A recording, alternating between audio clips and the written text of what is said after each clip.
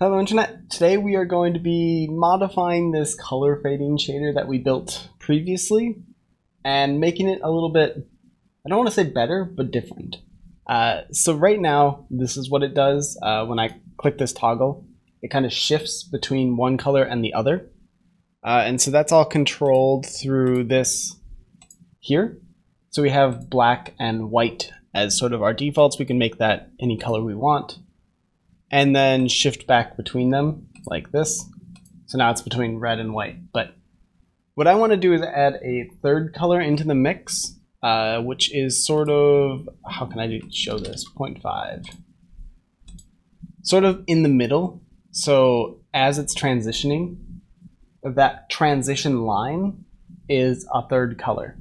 Uh, so I'm picturing for like stream savers that concept of a game that you can kind of upload onto your stream and let your your viewers play. I want sort of you to be able to customize this so that you have sort of something that is similar to your your channel's theme. And so I'm thinking that this line can kind of be part of that, not the not the entire thing necessarily, but part of that entire thing. So that's the effect. We can probably keep it at that slower slower rate uh, and I, I'm hoping this is a super quick effect. It shouldn't be too hard to pull off unless I'm unless I've missed something and then it doesn't work well. But I think we can do this in three ways. Instead of doing this, I want to change this into a another set of options, which means we don't have a mask selection anymore. That's not really what we're doing. Uh, we have a mask primary and a mask secondary. And that's going to be uh, less than, oops, greater than this. And then instead of doing this uh, 1 minus, we can do the mask secondary and then the mask primary here. Now, this does miss the complete middle point, so that should be completely black. Uh, it will probably get missed because we actually don't. Actually, I got rid of black, so never mind. We might see some black speckles, and that's because there's a point missing. If this is 0.5, both of these will be false, for example. That's sort of how we're going to do the transition. At least that's sort of my my idea for how this is going to work. And so if I save this, it should we should see the same effect or close to the same effect. That's not right. so if I play this, it looks normal. That's great. Now what we want to do is have a third color, which is going to be our mask accent. And I'm just doing these as like scalable things. Uh, and this is just going to be mask primary times, uh, times plus or and or That'll work. Mask secondary. And so this will be one if either of those are true. And then we can just add an accent color onto here, which means mask accent times our accent color. That This function's getting a little bit uh, long, so let's split that onto three lines just so it's a little bit easier to kind of tell what's going on. And that's a little bit easier. So we need this accent color defined. So I'm just going to stick it here. Fixed 4, like that, not like that. Just one underline will be fine. All right. And then our accent color can come up here. And there we go. Oops. We have to actually call this the accent color though. All right. So now we have an accent color. And so what I want to do with this is have sort of a, a barrier on either side, which kind of nudges the the check in either direction. Because we're not gonna, even though we added that ability to draw an accent color, let's make it, I don't know, pink, purple? That kind of stands out. Okay, I did the entire thing in the accent color. That's not right. we need to this is true if either of those are true. I want the inverse of this, which means uh, can I do this? I'm I'm not super familiar with how with Boolean uh, logic in shaders, so I'm kind of guessing here. But I think I should be able to use a not, and then that should go away. Okay, there we go. So now we have our secondary uh, color being shown right now. Uh, switches back to the primary, and then I should be able to do a fade, and there's no purple. Well, uh, we need a way to show it. So in order to do that, I'm going to add a, a barrier. I was kind of talking about this earlier, but uh, what do we call it? The accent barrier size. That's a long name, but it kind of mean means what I want it to mean. barrier size. There we go. Float. And we'll set this equal to like 0.02.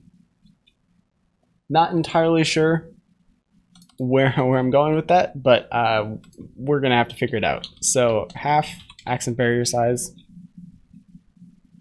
And then we need to, to modify this a little bit.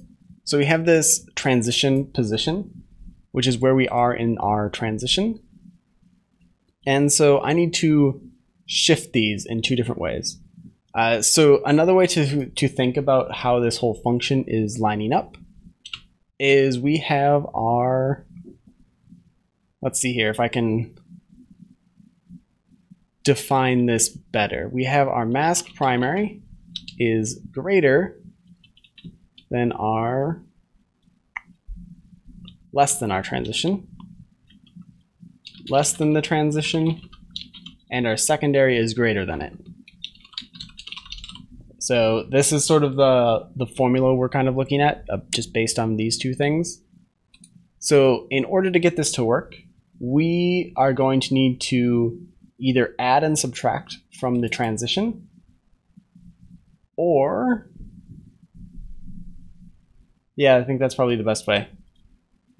Uh, so let's see, mask primary is this way. I think I'm going in the right way. We're gonna we're gonna find out because I always find uh, trying to figure out which direction to send things in, at least in these kind of formulas, is not the best way to approach it.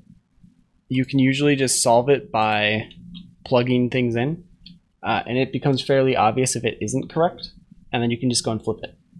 Uh, when you're doing more complicated things, it can help to kind of draw it out. But for me, for basic things, I just like to kind of plug them in and and kind of if it doesn't do what I'm expecting it to, then flip it around and hopefully it works. And if that doesn't work, then go back to the drawing board and, and figure it out from there. I don't think this is going to do exactly what we want, but we'll see. yeah, there we go. So there's our purple, which is at least indicating that we're kind of close.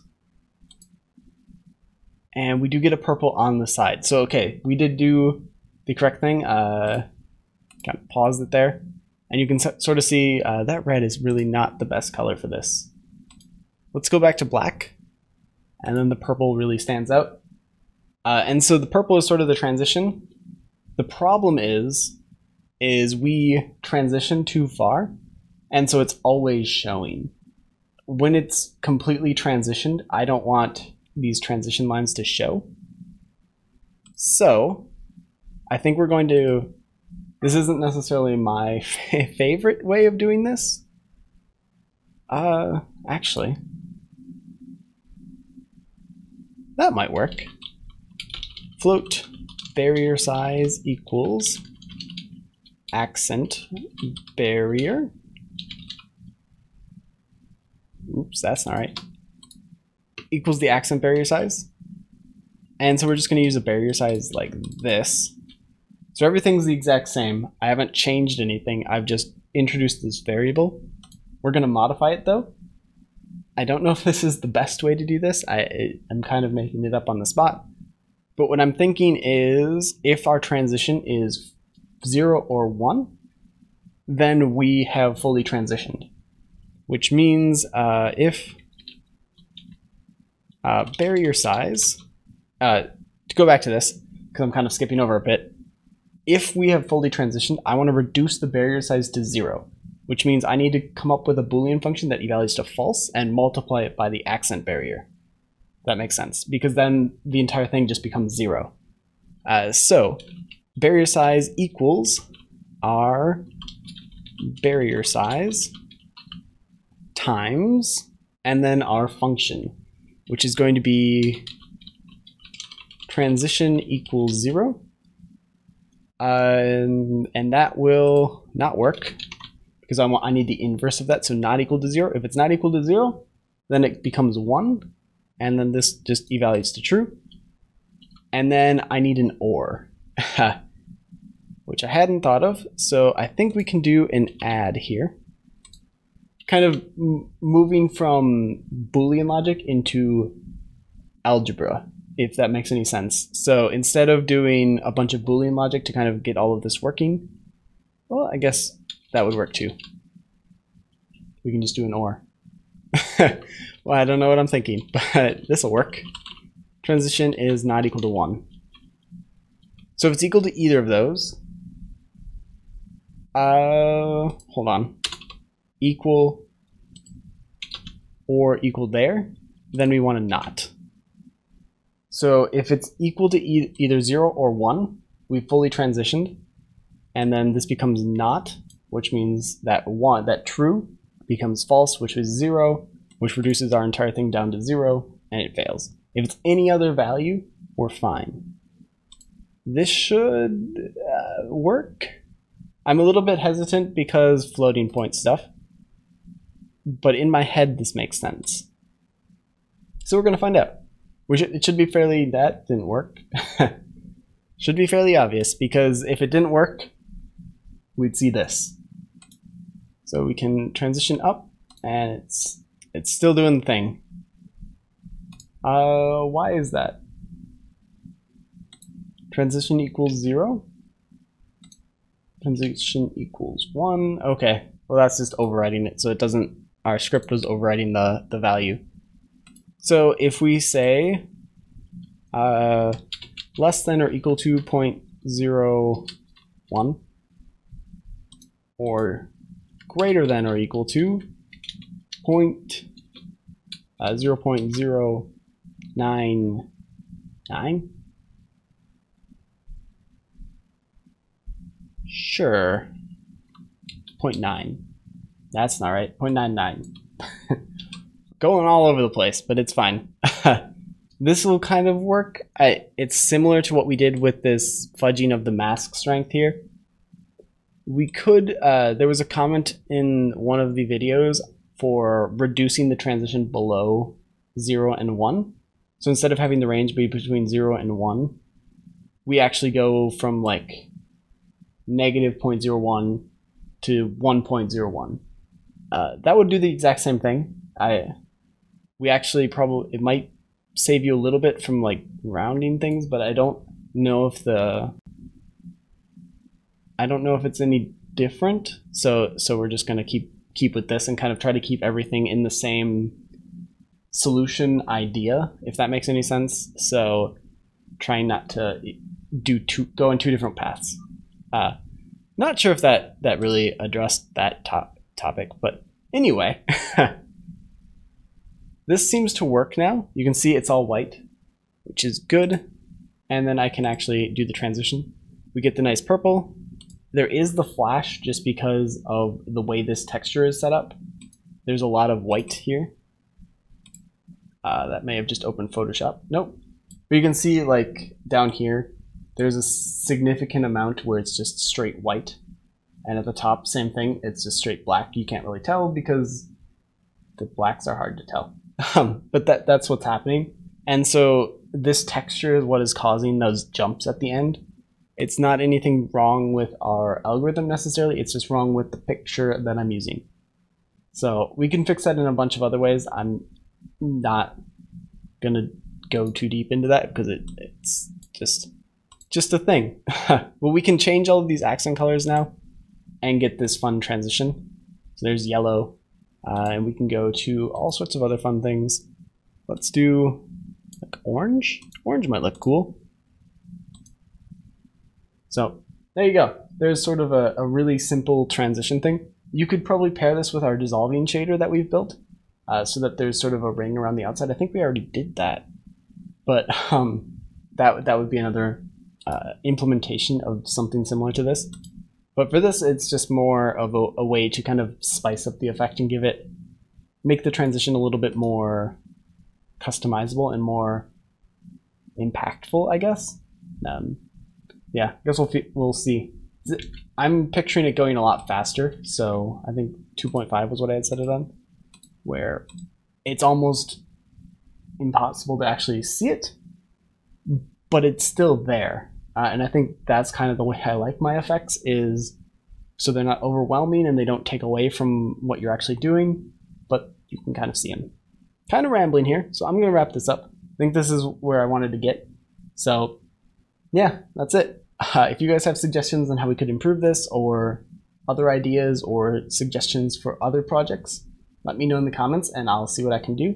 We have a Discord channel. There's a link in the description. If you guys want to come in uh, chat, uh, have some questions, or just want to share some cool programming stuff you're doing, then come and join that. It's yeah, free to anybody, I guess. So unless, as long as you're you're a cool person. so yeah, there's that. Uh, until next time, see you, internet.